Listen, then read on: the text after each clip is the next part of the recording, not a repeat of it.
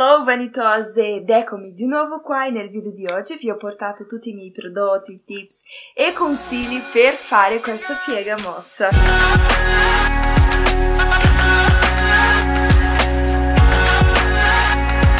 Chi non mi conosce sono Brigida Ferracini, benvenuta al mio canale. Per chi non lo sa, io sono riccia, riccissima, tipo 3C e oggi voglio mostrarvi tutti i prodotti, accessori e consigli, tips che utilizzo per fare la mia piega liscia, mossa in un tempo più breve e uh, con questo risultato così super liscio, super con i capelli super allineati. E non solo, oggi ho anche tagliato un po' la mia frangetta, che la vedrete solo alla fine del video, me l'ho tagliato anche un po' la mia frangia e vi ho mostrato poi tutto questo processo. Se vi piace questa tipologia di video già lasciate subito il mio like. Il mio trattamento è iniziato già dello shampoo che ho utilizzato usato l'impacco pre-shampoo rigenerante di Divina Black con estratto di avena e aloe vera, olio di mandorla e germi di grano per fare un pacco già super idratante e nutrienti principalmente sulle punte dei capelli, sulle punte e lunghezze che sono le zone più decolorate e più fragilizzate dei miei capelli e lì già inizia la prima cosa, idratare bene i capelli. Capelli ben idratati allora si danno un buon risultato applicato sia nel riccio ma anche in una piega liscia. Ho applicato quindi questo impacco su tutti i capelli, dopodiché l'ho lasciato in pose per 30 minuti e ho fatto lo shampoo. E il shampoo ho utilizzato un shampoo più lavante, giusto per dare più movimento e più volume a questa piega, lasciare le radici proprio più leggera. E durante la doccia ho utilizzato anche questa, che è la maschera nutriente di Divina Black. Questa è la maschera all'olio di cocco, è senza siliconi, parabeni coloranti ed è super nutritiva, lascia i capelli molto morbidi. Ha un tempo di posa di 5 a 10 minuti, l'ho lasciata circa 5 minuti che ho utilizzato proprio nella doccia, dopodiché ho districato ed è incredibile la quantità di capelli che mi cadono quando la piega. Quindi i capelli che cadono durante la settimana cadono per terra, si perdono, non, non le vediamo neanche. A differenza del riccio, i capelli che cadono rimangono lì e escono tutti ad una volta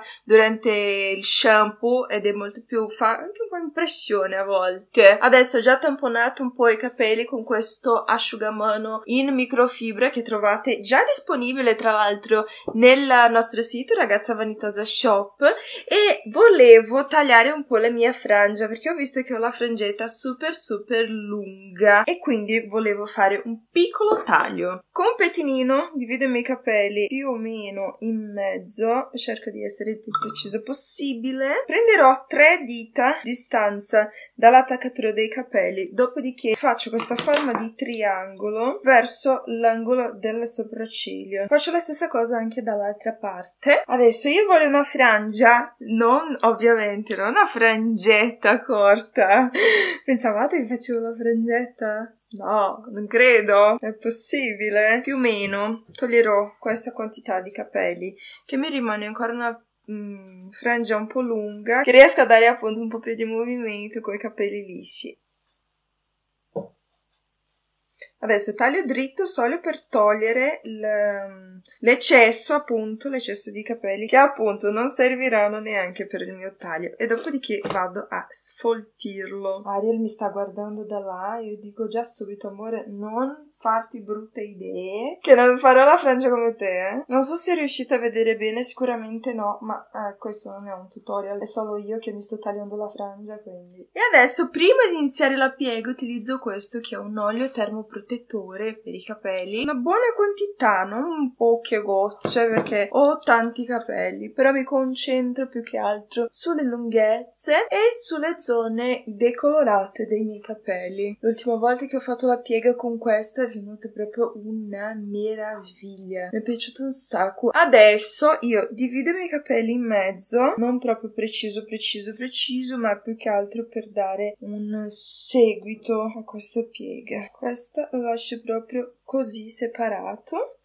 e l'altra parte la districo e inizio a fare la piega liscia. È importante che i capelli non siano troppo bagnati, appunto per Aia. È importante anche che i capelli non siano troppo bagnati, perché sennò diventa ancora più lunga. Per questo ho tamponato prima con quell'asciugamano, così mi diventa ancora più facile. Allora, districo e vado di spazzola lisciante. Questa è la spazzola di Dry No. Asciuga, modella e dà volume. Sui miei capelli funziona molto bene, riesco a fare una piega super liscia e molto velocemente. Poi se vuoi avere più informazioni su queste spazzole c'è già qua su YouTube, vi lascio qua qua nei card il video dedicato che ho fatto con tutte le informazioni, utilizzo, eccetera, eccetera, eccetera. Questa prima ciocca io ci metto sempre di più perché la spazzola si deve ancora riscaldare bene, ma io divido praticamente a metà per questo. Prima faccio tutta questa parte e poi tutta questa parte.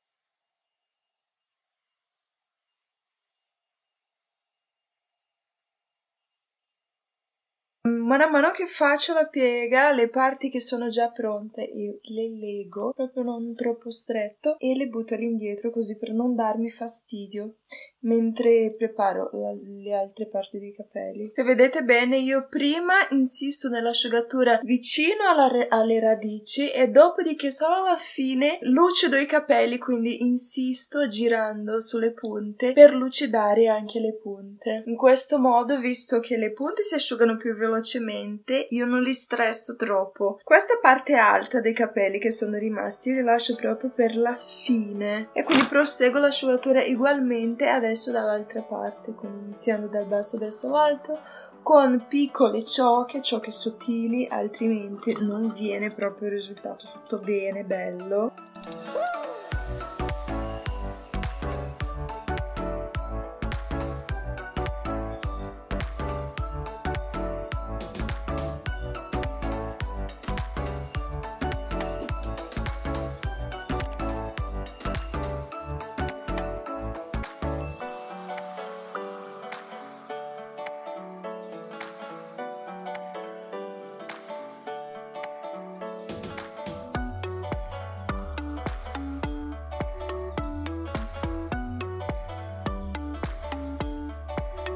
Per la frangia volevo provare in un modo diverso oggi iniziando dal davanti e poi facendo la parte dietro perché di solito lo faccio all'incontrario quindi inizio con questi capelli qua del topo e poi questi fran- della frangia. Ma penso che facendo così eh, all'incontrario potrebbe essere meglio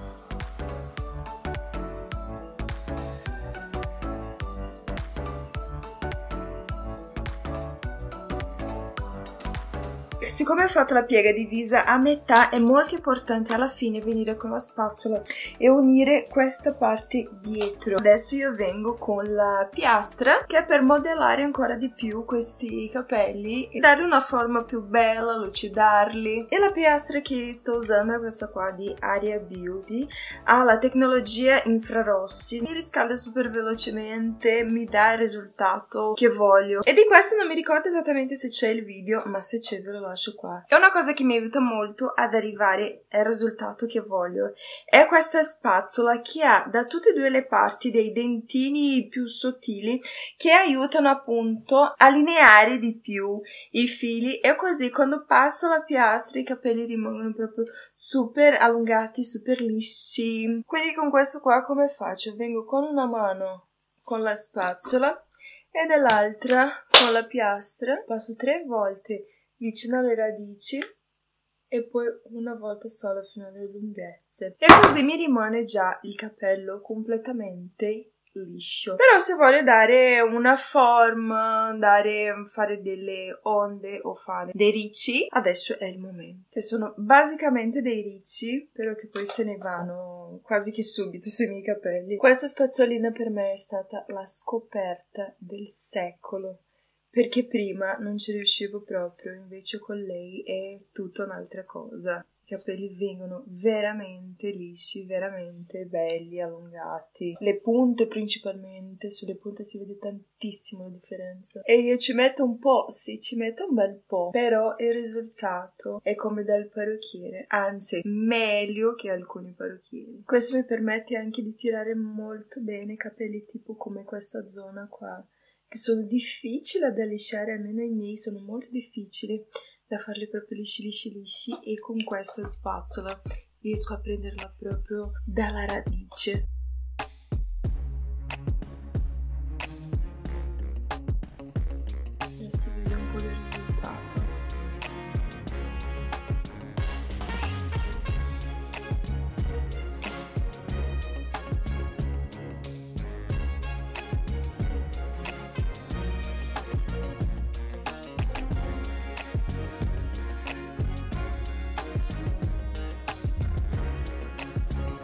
E voilà questo è il risultato finale dei capelli.